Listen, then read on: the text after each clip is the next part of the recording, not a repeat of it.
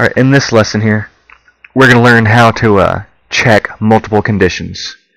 So let's say I have three variables, a equals 1, comma, b, comma, c equals 8. Okay. now, um, I'll say I had an if statement. Let's say I said enter a value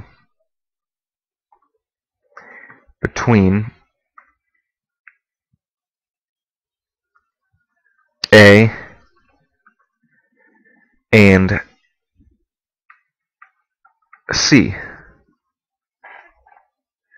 And then I want the user to input a value for b. Okay, so let's run this here. Now keep in mind this won't work here. So just to show you what this does here, I can just enter B. It says, in this case, it says enter a value between 1 and 8 when it prints to the screen here. Say enter 8. Alright, nothing happens here, but now I want to check to see if it is between 1 and 8. So first I can only check one condition. If B is less than C, now that's a start. Okay. If b is less than c, I'm going to execute everything inside this loop here, which means I want to execute another if statement. If, now I want to see if um, a is less than b. So b is less than c. If this is if this is true here,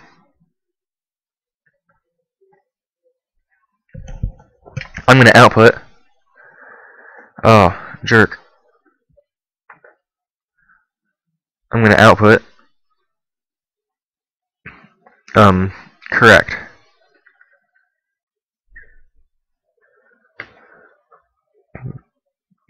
So, enter a value between 1 and 8. Let's say enter 5. It says correct and it ends. Now, of course, I got to add a system pause so we can actually see it. For longer than a quarter of a second. And I want to output a new line. And let me make this bigger here so we can see it.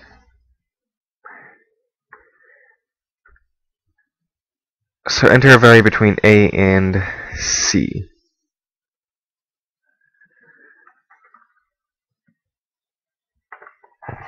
So if I enter 5, it'll say correct.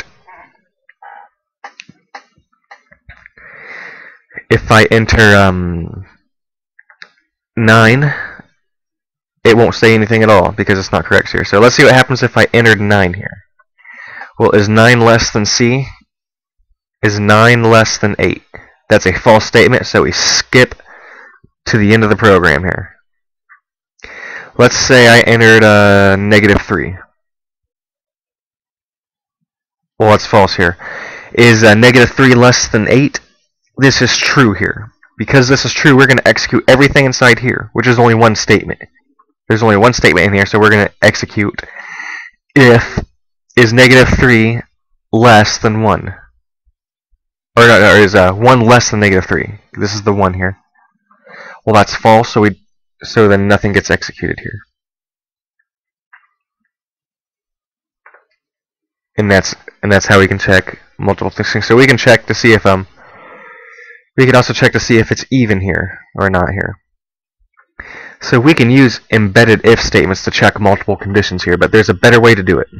So using the same exact, just to execute the same exact code here, we can shorten it up by using logical operators.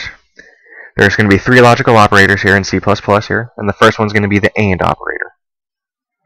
So, if if A is less than B and B is less than C here. So to check to see if um so we can put multiple boolean values in here. Now this AND operator requires both pieces to be true here. Now, um, you can watch the extended video here to show you more complex here, complex um examples here, because it, it can get pretty complex here. We can have multiple, multiple conditions. We can check to see if uh, several things are going to be be executed here, but both pieces of this have to be true here. So with this AND operator, the left side has to be true and the right side has to be true.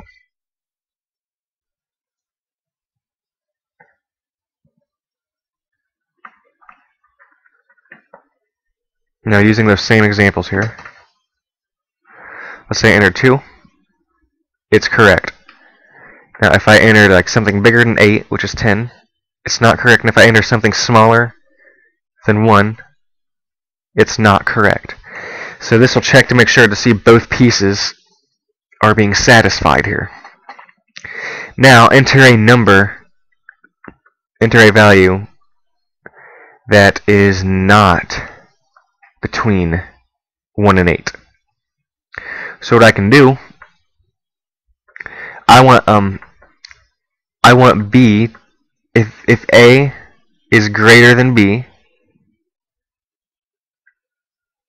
if A is bigger than B, then it can be true. Or I want um, B to be greater than C. Well, this is impossible here, right? No matter what I do, both cannot be true. It's impossible. Okay? Well, let's say I use the OR operator. And it's the symbols here. They look like a parallel, they look like vertical lines. And it's the symbol above the if key, or, or the enter key. It's a symbol above the enter key. It's on the same one as the uh, your uh, backslash here and um, you just have shift and you press it and it comes up here. This is called the OR operator. Only one has to be true here. And again, the extended video will show you more complex things where you can check several different conditions here. Maybe we want um maybe we want b to be divisible by 2. Maybe um it, only if uh, we can have multiple multiple things to check for. But in this case, only one one of these guys here have to be true here. For it to be true. In this case, let's say enter negative 3. It says correct. Because negative 3, A, A is greater than negative 3 here. That's It only needs to check that one. Once it sees that one, it does not care what's on this other side here because only one of them is true. Only one condition has to be true here. So we have two Boolean values here. And only one has to be true when we separate them with the OR operator. If we use the AND operator, where is it at? Yes, the symbol of a 7 here. We would, we would, uh, they'd both have to be true. But since we're using the OR, only one has to be true. So let's say enter I enter a value that's between those two. Let's say I enter 5. Well, neither one of these conditions is true. Since neither one of them is true, it'll be considered a false statement. And that's how we can correct, that's how we can check for two of them here. Now finally the not operator here. So let's say I put this as a, let's say this is um just false here. And let me just delete this here. Obviously it's not going to output the cout because I set the whole Boolean value to false here. Now we're going to learn the not operator. It's an exclamation sign. So if this is not false, this whole thing is going to be considered true here. So you can think of the not operator as a reverse. You reverse the statement. In this case, it'll execute because it's not, we say, not false, it's correct here. So whatever this is, if you put if you denote it with a not here, it's just going to change it to true. If I turn this to true here, if I if I typed in true here, it will execute the code inside the loop. But if this is not true here, we can say it's false here because notice it didn't execute it because the not says it just reverses the uh, the boolean value. So you can think of it as a reverse function. but it's really called the not operator. But sometimes if you say, is this not true? Well, this is a false statement, but it sounds kind of funny. So you can just think of it as a reverse. You reverse the statement. In this case, this is going to be false because this not reverses the true to false. Alright. So let me let me back up here. Let me back up to that example. I knew I should have shouldn't have deleted it all yet. Alright. Let's say we look let's say we look at the original example. Enter a value and let's say we use the AND operator. Well, another application to the NOT operator here. Let me put spaces here so we can see what's going on here. And if I uh, enter a value between these two here, it's going to say it's correct. Because both of these statements are true when I enter a value between 1 and 8 here. But to satisfy this statement here, I can put this whole thing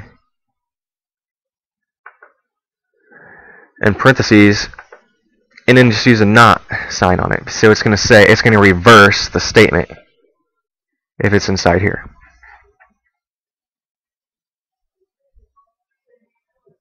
In this case it says it's, it doesn't say it's true.